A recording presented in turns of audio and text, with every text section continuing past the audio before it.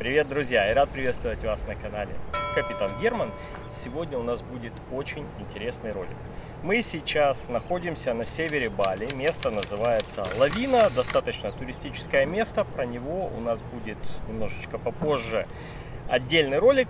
Расскажем, покажем. Супер классно. Но сейчас мы выдвигаемся и идем на Борнео или на ту часть Борнео, большого острова Борнео, которая называется Калимантан. Калимантан принадлежит Индонезии. Что мы будем делать?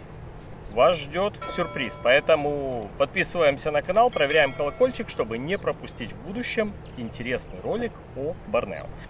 Напоминаю, что у нас было несколько роликов о том, как мы провели время на Ламбоке и на Гили Эйр и Гили Асахан. Вы можете пройти по ссылочке и посмотреть, как круто у нас было. И закончилось наше небольшое путешествие по Ламбоку, по Гили. Андрей со своей девушкой уехал уже на пароме домой. А мы также идем на Бали, но на север, к нашим друзьям, у которых мы немножечко постоим э, рядом с их э, локацией. Переход с острова Гили на север Бали в лавину был совершенно несложный. Расстояние небольшое, проходится в рамках светового дня. А в лавине мы закупаемся продуктами и будем выходить на Борнео. Это достаточно длинный трип. Но прежде чем мы выйдем, Давайте я вам немножечко расскажу про наш маршрут, потому что он будет пролегать в тех местах, которые вообще не туристические, туристы туда не приходят. Может быть пару лодок в год заходят и все. Мы выходим из лавины, это север Бали, идем на гряду островов Рас, это север Явы, далее еще севернее на острова Бавиан, и далее мы уже делаем офшорный переход на север э, в Калимантан или Борнео. Наш трип занимает 435 морских миль. Заход на остров Раз достаточно сложный. Мы читали по Лоции, и многие люди говорят, что очень мелко на входе, и мало того, что мелко, глубина до 5 метров, но это Coral Head. То есть грунт не мягкий и есть шанс удариться килем. Поэтому мы были очень аккуратны, но тем не менее у нас получилось все успешно.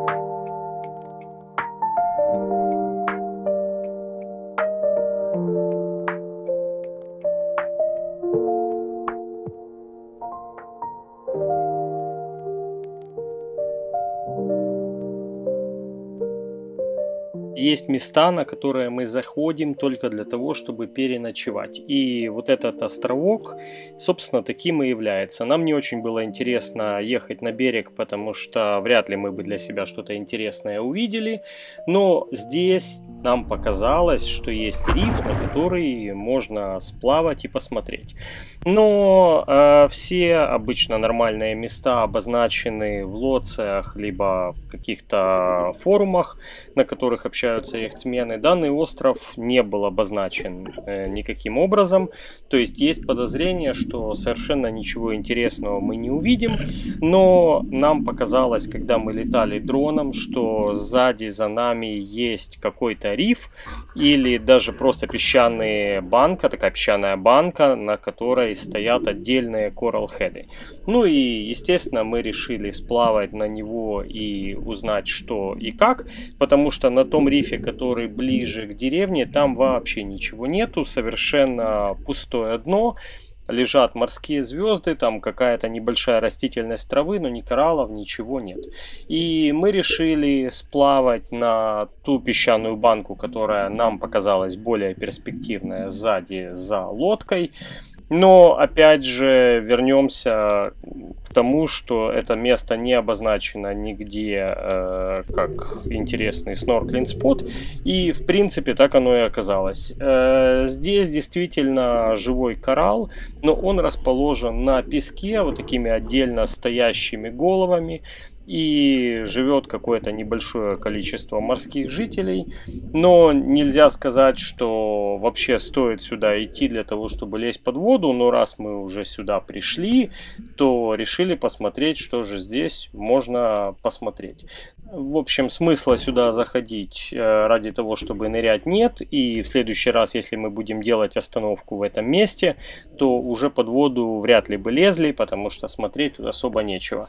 Ну, как вы знаете, в любом месте, когда вы проводите время под водой, все равно можно что-то увидеть или просто покупаться, посмотреть на морских жителей. Пару часов, которые мы провели под водой, я не считаю, что мы их провели зря. Зря у нас есть уже опыт, мы понимаем, знаем, что в этом месте находится и понимаем, что в следующий раз будем ли мы заходить или не будем. Всем доброго утра. У нас очередной день. Ночка была просто жесть. Э, дуло сегодня почти 40. Вот даже сейчас уже, когда все утихло, посмотрите. Сейчас уже 15.5. Мы простояли ровно, там можно пару метров съехали ничего критичного, очень хорошо заикарились. И это говорит о том, что мы все сделали правильно. Так, все, мы вышли. У нас где-то сейчас час, как вышло солнце. И вот двигаемся на выход. У нас сейчас я вам покажу по карте, как это будет. Вот так обходим сюда потому что здесь у нас очень мелко, а здесь говорят там около 10 метров глубины. Мы сейчас выходим слева мель, которую, на которую вчера ездили нырять. А вот здесь вот по прямой уже должна быть глубина, ну по карте во всяком случае так. Ну и выглядит оно как глубоко, то есть минимально мы видели 13 метров, в принципе мне кажется нормально. Мы сейчас стоим, у нас второй риф и полный на переднем. Ну, у нас передний, в принципе, это докатка, он маленький, на метр короче, чем наш стандартный. Поэтому можно сказать, что он стоит на первом рифе. На втором стоит у нас main. И идем мы от 6 до 7 узлов, то есть у нас сейчас оптимальные настройки и по погоде, и по всему. Класс. Волна не очень большая, она есть, но такая себе. И угол к ветру ну, где-то градусов 120. И вот таким вот курсом мы будем идти до нашей следующей остановочки. Мы поставили нашу колечку, это код Zero. Видите, какой он красивый. Доживает свои последние деньки, потому что у него это уже такой парус тяжело ему живется. Вот там вот, кстати говоря, давайте я вам покажу. Вот мы сейчас идем, у нас 40 метров, а видите, такой вот чуть-чуть ближе э, к нам, там где-то метров 200, такое ярко-зеленое. Здесь глубина 10-13 метров. То есть мы идем пока по глубине, но туда ближе подходить не хочется. А вот там на горизонте гора это Ява. То есть это уже ее последняя часть острова. Ну, а мы идем вот туда по прямой, уже на острова в сторону Борнео. Вот мы сейчас расходимся. Справа от нас идет пассажирский 100-метровый. А, это ферри, паромчик. Он идет со скоростью 12 узлов проходит мимо нас. А мы идем по контуру глубины сейчас 25 метров. Видите, какое тут все зеленое. И мы идем по мели, и все вот эти ферри обходят нас по старборду, потому что здесь для них мелковато. А мы пользуемся, срезаем. И вот увидите там вдалеке это Ява. Мы ее вот так вот по касательной проходим и уходим. В принципе, мы сейчас практически на нашем курсе и уходим туда на север. У нас пересекающийся курс вот с таким грузовиком, но так как приоритет у него, мы его пропускаем. Мы шли параллельно с ним, а потом, когда он подошел ближе, просто повернули на 90 вправо и пошли обратно на наш курс. То есть вот он сейчас перед нами переезжает. У него даже радар не крутится. Вот это я понимаю. Сила воли.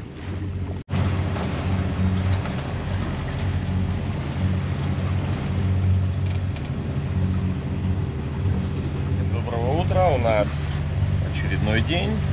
Ночью ничего интересного не было. Один раз раздуло, обставили паруса, потом их собрали. В общем, сейчас ветра нет, идем на моторе. Единственный у нас есть некий интересный опыт. Смотрите, я положил сюда наши бинбеги. И получилась замечательная, великолепная кровать, на которой можно спать всю ночь. А если учесть, что здесь еще можно сделать двухспальную кровать, так вообще великолепно. Ну, у меня начинается день с кофе. Итак, его и будем продолжать. У нас открыт код Zero, такой большой парус. Э, ветра очень мало, но он нам все равно там порядка одного узла добавляет, пока мы мотор еще выключить не можем. Так что у нас такой мотор сейлинг. Видите, перед нами лодка идет, мы с ним расходились. Мы сейчас взяли где-то градусов 30 направо, потому что он даже на радио вообще не отвечает. Ну, вот сейчас мы с ним разошлись, я сейчас подверну опять, вот буду подворачивать налево, потому что у нас вот парус там болтается, он сейчас надут, но у нас угол к ветру там минус 165, то есть такое себе. Ну, тут пора уже подворачивать. Вот буечки мимо прошли.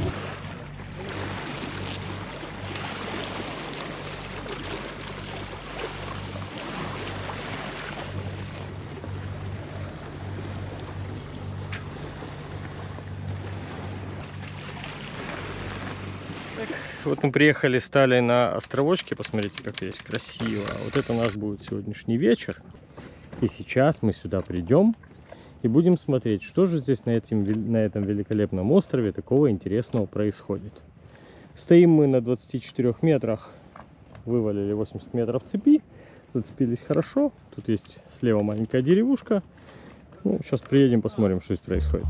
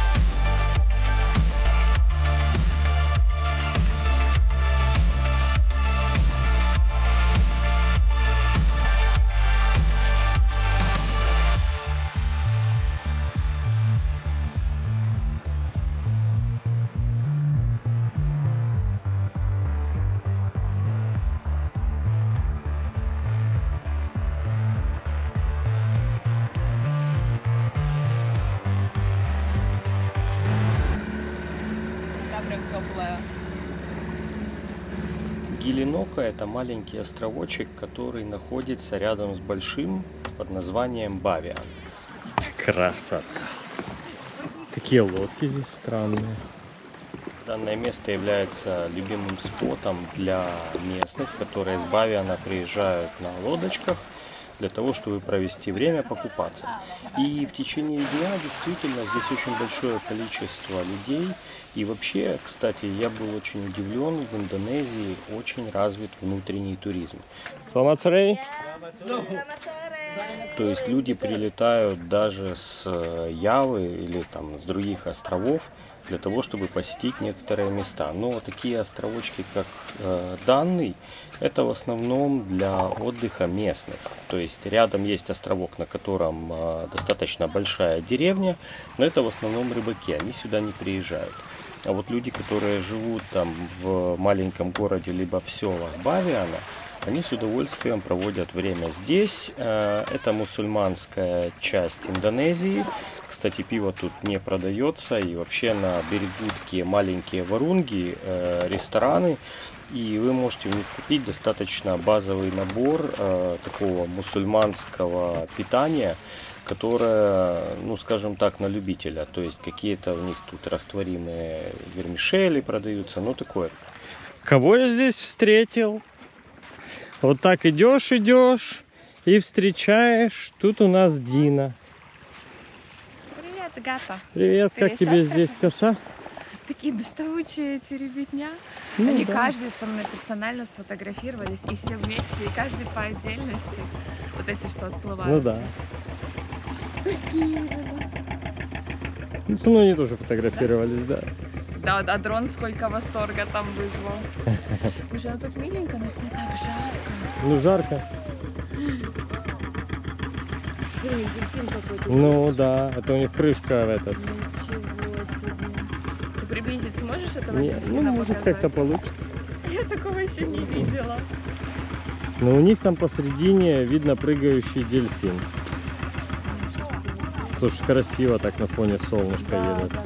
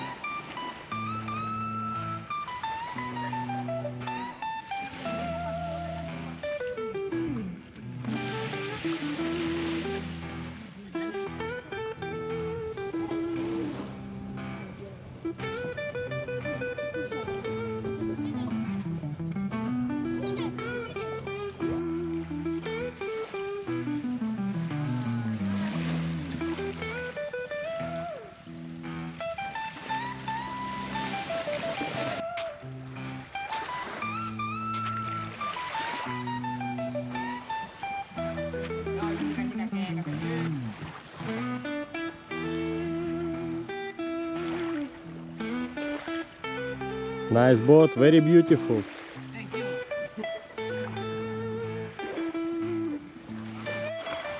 Давай, выползай. Из воды. Интересное место. Белый пляжик, красивый закат. Завтра выйдем, посмотрим еще, что здесь на рифе. И будем знать, что здесь интересного или нет под водой.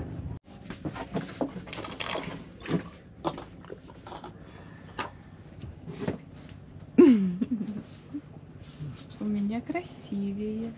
А у меня то, что у тебя. Ну и естественно, как же нам не залезть под воду и не посмотреть, что вокруг происходит такого великолепного островочка, на который мы приехали.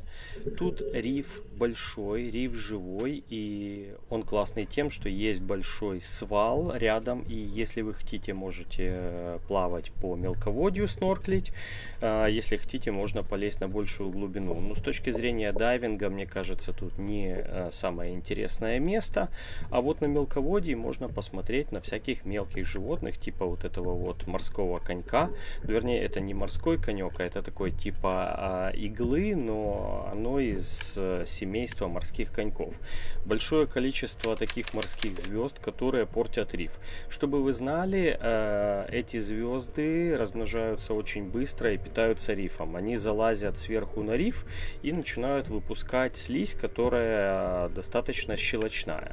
И вот вы видите эту звезду, все, что под ней находится, оно полностью растворяется, и это то, чем питается данная звезда.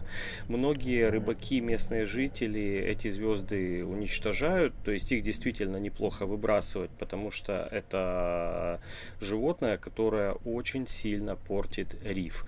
И местные жители знают об этом и знают, что после них не остается ничего, то есть риф полностью умирает, поэтому они эти звезды пытаются уничтожать. Но здесь все живет совершенно своей жизнью, и эти звезды поразмножались, и их реально на рифе очень много, и нужно понимать, что они будут делать очень большую проблему в будущем. Очень много таких небольших каньончиков, каскадиков, и через них можно проплывать, и это все живое и достаточно интересно, потому что э, вы не смотрите на плоскую поверхность, а можете там где-то полазить по каким-то пещерам. Большое количество мелкой рыбы, которая здесь живет такими стайками, прячется в коралле, очень красивые кораллы. Мне здесь понравилось. Вокруг того места, где мы стояли, есть таких рифов несколько. На этот риф я полез один, а Дина здесь уже была вчера, и она поехала на другой риф, который находится, ну так, минут 10 нужно ехать на Тузике. Вообще это не самое популярное место для дайвинга. Данный риф не обозначен на картах как место, в которое люди будут приезжать, чтобы провести время под водой. Но насколько я понимаю, тут вообще это места, на которые яхтсмены приходят, делают overnight стоп и идут дальше.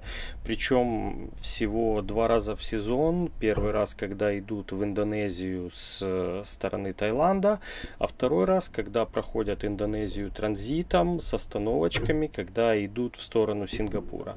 Поэтому вероятнее всего, что данный риф не обозначен, потому что люди делали технический стоп, такой просто overnight стоп, и не ныряли, не смотрели, поэтому наша марка здесь будет первая. Вот вы видите сейчас такие красивые кораллы, они вживую вообще невероятного цвета, и возможно в ультрафиолете они будут светиться очень ярко. Ну и животный мир и кораллы здесь живые, поэтому посмотреть на живой риф, это всегда очень классно. Дина забрала тузик и уехала снорклить на другой спот, а я остался там, где наш риф, посмотреть, что вокруг. И так как у меня тузика не было, а плыть мне на лодку было лень, я попросил местного рыбачка, который проезжал мимо, он подъехал, забрал меня на своей лодке и отвез меня на нашу. То есть, в принципе, я мог бы, конечно, проплыть туда и сам на ластах, но если получилось сделать это проще, я решил сделать это проще. Ну вот мы нырялись на рифе, а теперь мы переходим на север вот этого большого острова, потому что там вся цивилизация. Надоела дичь, хочется варунг. Мы, например, расходимся. На нас идет прямо вот такая вот великолепная лодочка с парусом.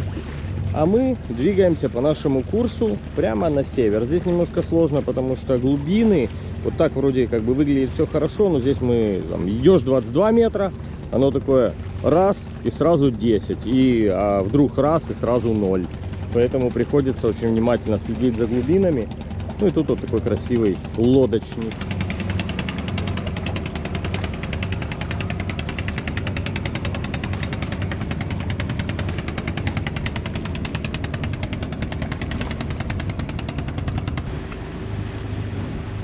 нам туда еще где-то миль 7 и видно вот где вот эта гора вот вот с той стороны будет с правой стороны заход и мы туда идем так вот уже видно наш мыс с маяком.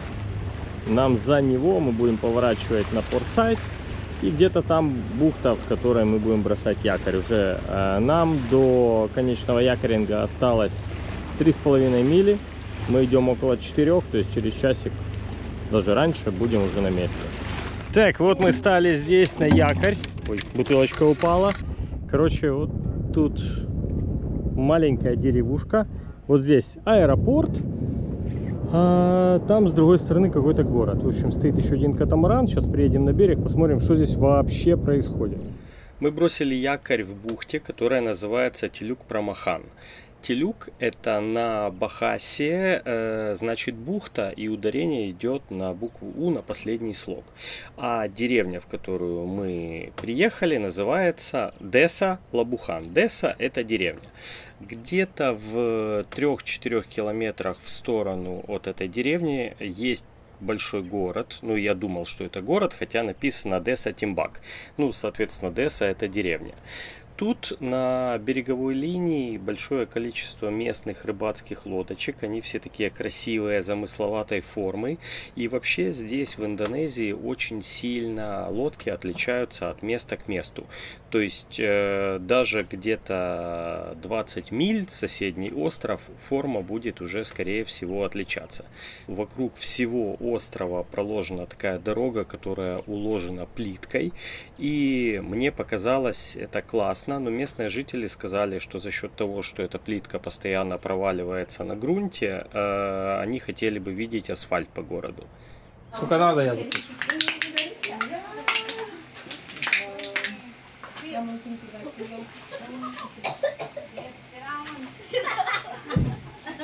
В данной деревне есть несколько магазинчиков и парочку ресторанов, но они все на такой местный манер. А место совершенно не туристическое. Единственные лодки, которые они здесь видят, это такие вот, как мы приходим для того, чтобы по пути пройти на Борнео, либо дальше туда, к Сингапуру. Люди здесь живут такой достаточно простой жизнью, рядом с деревней рисовые поля. Сейчас они, видно, убрали урожай, и вы видите то, что осталось от этих полей. Но когда будет следующий сезон, они его засеют, здесь будет все такое зеленое. По стилю это мусульманская деревня, и вот традиционно вы видите все такое в плиточке. Почему-то мусульмане очень любят. Есть небольшой пляжик, но достаточно много мусора и большое количество местных рыбацких лодок, потому что, я так понимаю, это единственное, чем они здесь занимаются. Такие вот деревянные колеса и лафет, на котором они свои лодки вывозят на берег. Ну, в общем, э, здесь интересно тем, что, скорее всего, вы в такие места не попадете, потому что, э, так как я уже раньше говорил, места не туристические, и сюда люди не приходят, потому что делать здесь нечего. Но для нас, для яхтсменов, мы когда заходим с воды, то попадаем в совершенно другие места. Вот сейчас вы видите лодку, в этой коробке это мотор, а рядом с лодкой параллельно идет вал, и они здесь на таких лодках раньше ходили только на веслах, а сейчас начали ходить уже используя, конечно, двигатели. Двигатели шумные, не самые эффективные, но получается рыбакам перемещаться на большие дистанции, чем на веслах. Доброго утра! У нас очередной день. Мы выползаем с этого великолепного островочка, который сзади у нас. Вы все видели, как там Место интересное, но особо делать нечего. Мы решили там на водопады, которые везде одинаковые, не ехать. В общем, мы выдвигаемся. Сейчас у нас рассвет, вот вы видите, какие сзади у нас контрастные горы.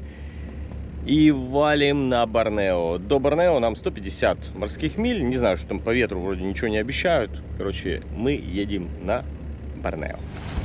Так, у нас спереди вон буксир тащит баржу с углем. Мы так отвернули немножечко правее, чтобы пройти сзади по барже. Потому что он идет у нас сейчас влево, а мы так чуть-чуть вправо едем. А у нас спереди по носу какой-то грузовичок. Мы с ним расходимся на расстоянии 1,8 мили. А левее от него, так вот на горизонте выделяется, это буксир тащит баржу. И что-то мы его вообще не видим. Поэтому подойдем поближе, будем смотреть. Может быть придется отвернуть. Он спереди идет Мы от него недалеко расходимся 1,2 мили. Вот такое вот у нас здесь суденышко грузовое спереди.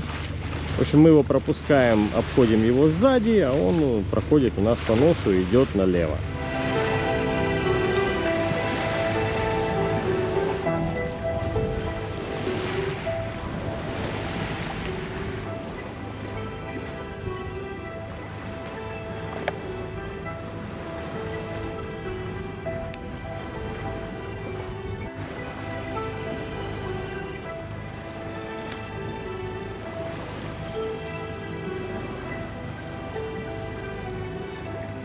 Вот этот буксир с баржей, которая проходит перед нами. Такое вот большущее. А вот с этой стороны еще один корабль, с которым мы расходимся. Ну, они все есть на АИСах, поэтому все окей. Но здесь есть только буксир, баржи нет. Такая большая, класс, прикольно. У нас тут сейчас все супер остросюжетно. Мы тут чуть не наехали на какие-то сети, потому что их тут размотали по всей длине. И здесь какая-то акватория, мы находимся 100 миль от берега, кучу рыбаков, какие-то сети, буйки. Вот на воде змея, Это уже пятая. пятая змея. Пятая змея. Да. Змея, скорее всего, ядовитая, как ты думаешь? Ну, я хз, я вообще не привыкла встречать в открытом э, море змею. Здесь глубина 60 метров, поэтому здесь все необычно. Ну и сети типа 100 метров от берега, ой, 100 миль от берега тоже не очень привычно встречать. И мы уже встретили две. Ждем третью. Минное поле. Ну да. Тут очень странное место, конечно. Утро. Спал я здесь сегодня вот тут. На подушечках сидеть, конечно, удобно, но спать долго неудобно. Мягкая и спина проваливается, ну, встаешь такой весь помятый. А все потому, что очень много рыбаков, ловушек, сетей и прочего вот этого вот. В общем, э, спокойная ночь не была. Вот пришлось тут сидеть, смотреть, просыпаться, засыпать. Ну, в общем, такое тяжело было. Ну, ничего. Нам осталось там где-то миль 50, наверное, до Борнео. То есть идем мы 4 узла. Если будет такая скорость у нас, то дойдем еще засветло. Если будет встречное течение, то будем уже заходить в темноте. И заходить у нас там будет якоринг, просто вот такая плоская вода, как сейчас. Э, Заходим от 10 метров до 2 будет такой перепад на протяжении 6 миль. Просто идем, идем, идем, идем и швыряем якорь. Стали. А на утро уже будем идти дальше в город.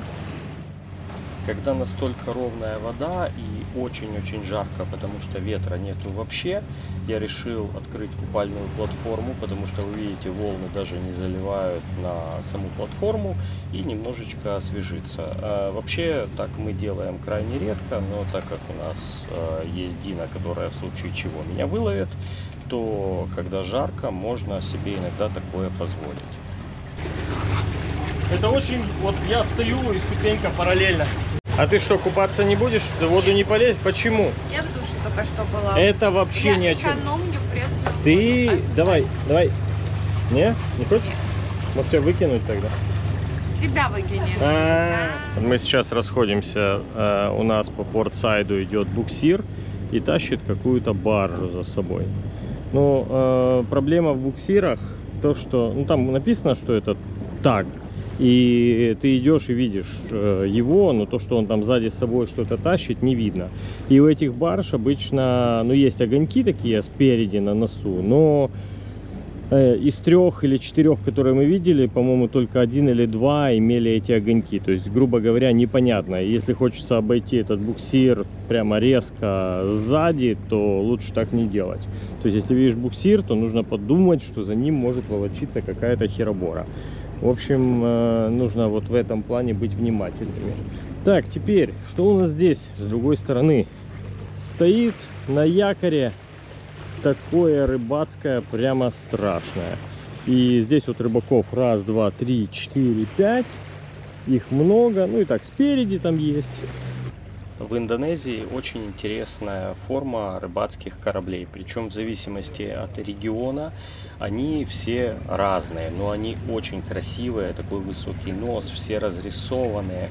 В общем, э, рыбаки тут очень любят свои лодки. Здесь они называются капаль-лаут. Капаль это корабль, лаут это море на Бахасе. В общем, э, их тут очень много. Ловят рыбу самыми разными способами, бросая сети, но вообще для яхтинга это такой большой геморрой, потому что постоянно ты обходишь эти рыбацкие ловушки, все какие-то буи, которые они накидали. И вообще они делают для нас, для яхтсмена, очень большое количество проблем и очень это неудобно. Сейчас один из таких рыболовецких кораблей проходит мимо нас. У него интересно то, что течет такое количество воды. Видимо, он дырявый насквозь. Это деревянные суда, деревянные суденышки. И если он не будет сливать эту воду, то, наверное, утонет минут за 15. Потому что из него течет такой напор воды, который, ну, в разумных пределах зашкаливает. У нас скоро будет закат до Борнео 15 миль. И берега еще не видно совсем. Но видно наш курс и немножечко солнца. Поэтому подождем еще часа три, уже будет темно, и мы только подойдем к бухте. А внутри бухты до города нам еще порядка 40 миль. То есть еще идти долго. То есть мы сегодня будем кидать якорь, посмотрим. Максимально далеко зайдем вглубь бухты, но там очень мелко. Попробуем сделать это безопасно. Ну а пока великолепный закат. Чуть-чуть позже покажу еще, как он плюхнется за горизонт. Вот солнце у нас плюхается сейчас за горизонт. Наверное, не очень на GoPro хорошо видно, потому что он далеко. Но оно такое красненькое у нас сегодня. Вау.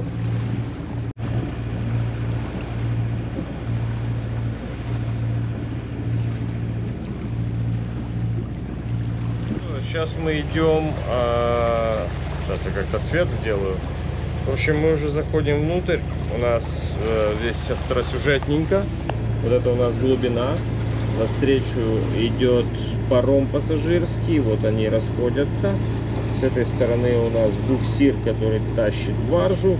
И, в общем, мы как-то с вот этой вот всей кучей расходимся вместе.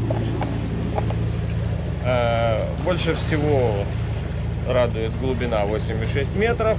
До берега у нас больше 10 миль, и вот это вот 8,6 должно плавно уйти э, на ноль. Но я думаю, что мы сейчас на отливе находимся на самом. И еще где-то 3 мили мы, да, там 2,7 пройдем. И будем уходить в сторону, и где-то метров на 7 будем бросать якорь, чтобы до утра переночевать, а уже с утра э, дальше выдвигаться уже внутрь реки и, ну, в общем, ночью не сильно хочется ходить. Но пока, в общем, э, пытаемся здесь просочиться в глубину. Вот эти наши два парома. Сейчас они между собой расходятся, и они проходят у нас по левому борту, по портсайду. Мы сейчас идем по прямой. Там спереди маленькая зеленая лампочка. Вообще непонятно, кто это идет. В общем, ужасно. А еще у нас по старборду какая-то херь зеленая мигает.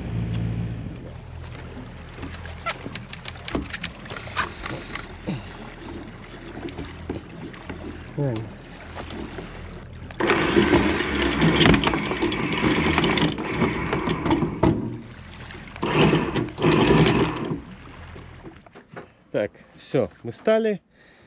Не знаю, что вам показывать. Вот там есть лампочки, это ходят баржи. Мы стоим на 9 метрах глубины. Короче, все. Стоим так до утра. С утра рано встаем и сваливаем отсюда. Так, доброе утро. Мы тут проснулись. Якоринг тут, конечно, великолепный, смотрите. Мы стоим, под нами 8 метров глубиной.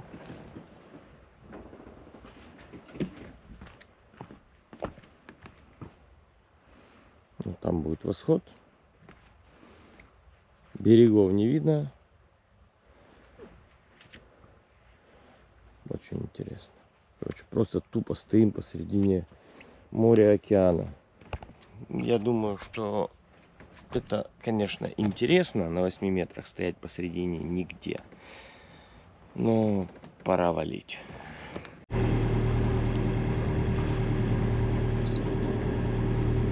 Десять миль до берега.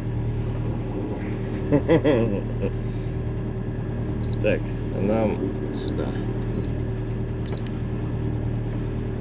Вот сюда. До входа в реку 31 миля. Смотри, солнце вылазит. Офигенно.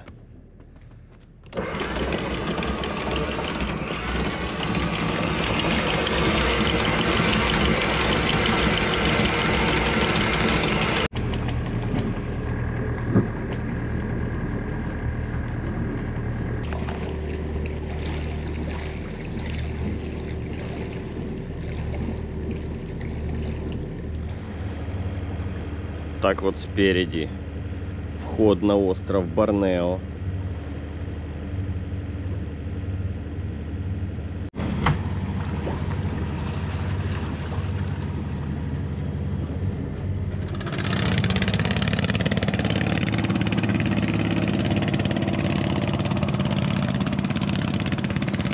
Мы ему показали, что у нас удочки, он хотел сзади пройти, а он такой раз и объехал нас по носу.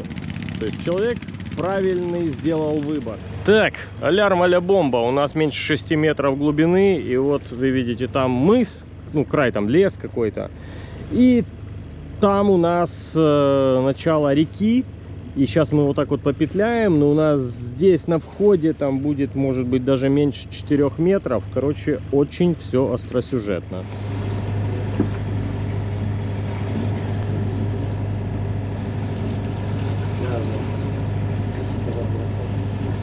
Так, у нас спереди на час латеральный буй, который обозначает Safe Water. Э, ну, не знаю, что они имеют в виду под Safe Water. У нас сейчас глубина под нами 5,5 метров, а после него будет уменьшаться и до входа в реке. Вообще, по милям ну, здесь мат, все-таки мягкий грунт, но очень не люблю я ходить. Я люблю, чтобы у меня хотя бы 10 метров подо мной было. Но иногда вынужден лазить вот как есть. Сделали поворот, у нас 2, 2 мили, э, вот видите, это до выхода на чуть-чуть глубже. Если здесь у нас везде ждет 4, то здесь уже будет 5,3.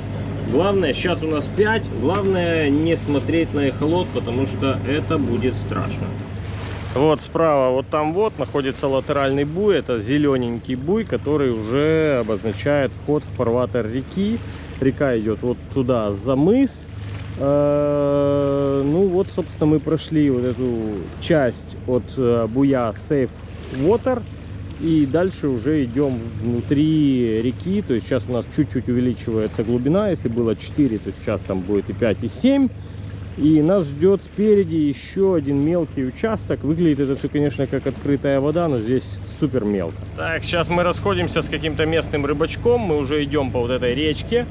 Хотя это еще и выход, но уже чувствуется встречное течение. Такое порядка там, наверное, узла. Начали тормозить, добавил чуть-чуть оборотов. Ну, в общем, пока ползем вперед. И мы сейчас будем поворачивать налево.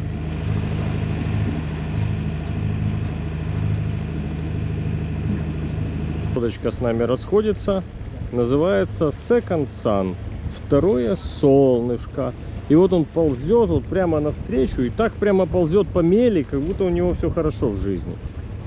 Так, вот тут у нас этот край. Э, Leading Light. А нам вообще вот куда-то туда, но здесь есть очень мелкая часть, около трех метров глубиной. Я по этому поводу очень сильно переживаю.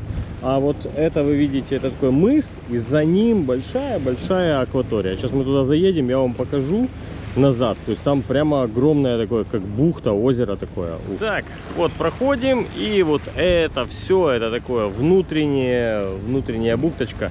Давайте я вам на карте покажу. Вот оно, вот это вот все. А здесь что это? Здесь село Кубу. Наверное, это глагол. Что ты делаешь? Кубу. Так, вот мы сейчас э, прошли э, вот этот зеленый латеральный. Выходим, у нас вот здесь идет leading line. И мы по нему будем идти. А зеленый буй, вот там есть рыбачок, он возле него стоит. Мы его прошли и повернули направо. И нас впереди ждет сейчас глубина в 3 метра при осадке 2,5.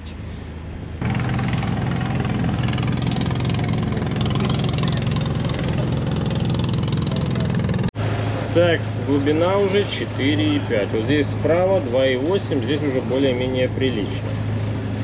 Мы проехали сейчас э, вот это вот участок, у нас 4,4 была минимальная глубина, э, меньше не было. И вот этой трехметровой, которую мы переживали, тоже не было. Сейчас под нами 6,7. Мы вышли вот уже на достаточно глубокий участок. У нас расхождение, это у нас кто? Это у нас Salty Ginger. Мы сейчас будем расходиться с парусной лодкой, это Sailing Boat. 14 метров написано на ИСе. Я вам сейчас его покажу, как будем с ним расходиться. Соленый Дина. корнеплод, соленый корнеплод.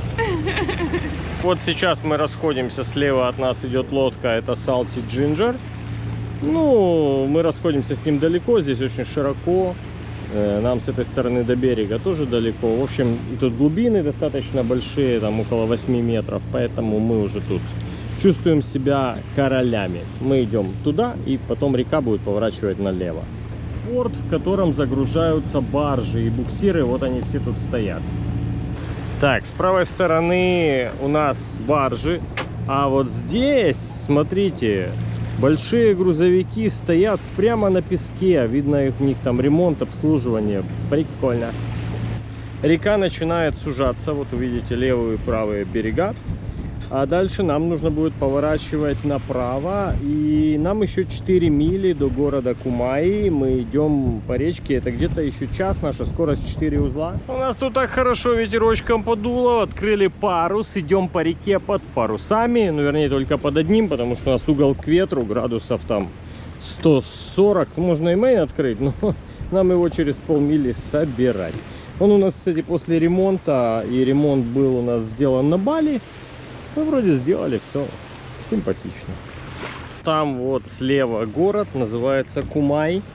И туда мы, собственно, идем. Здесь перед городом такая небольшая промушечка, какие-то заводики.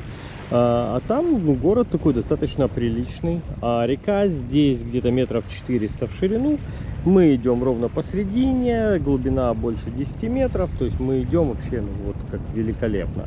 А, там спереди вы видите баржи. Э, Мы их обходим, э, оставляем их по старборду. И будем искать там якоринг. Э, До якоринга где-то около трех миль напротив, собственно, этого городочка. И там мы посмотрим, проведем какое-то время, посмотрим, что здесь есть интересного. Береговая линия, деревья, кусты, тропическая, красивенькая, в общем, но не горная, рельефа нету, такое одноэтажный лес.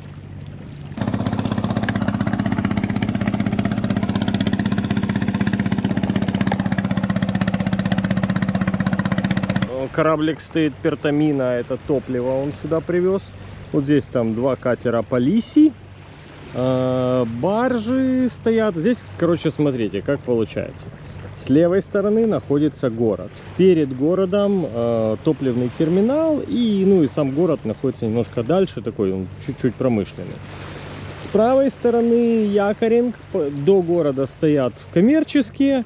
Ну и уже там чуть-чуть дальше, уже в городе, вот вы там видите, это стоят яхточки, и мы туда идем.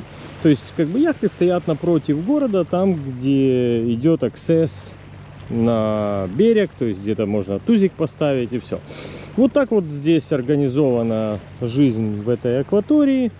Нельзя сказать, что это супер живописно, но невероятно интересно. Потому что не часто мы ходим по рекам в середину Борнео, Калимантана. Это невероятный остров, я про него вам расскажу попозже, но здесь огромное количество эндемиков и животных, которые находятся именно здесь. Но пока мы видим только город. Вот этот буксир называется Киджан Мас Лима, что означает олень золотой 5. То есть 5 золотых оленей. Вот такая вот история.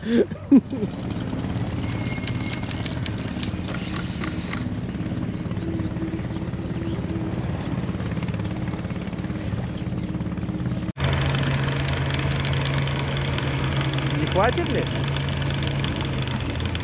Так, что у нас тут лодочки стоят?